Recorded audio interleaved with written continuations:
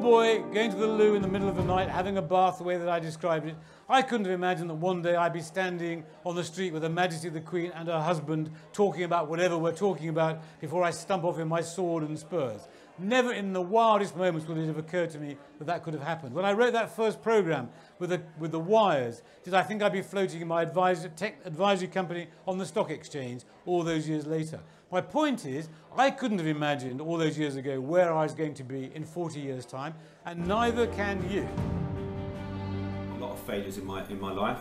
Um, I've, I've had parts of the business that have been very unsuccessful.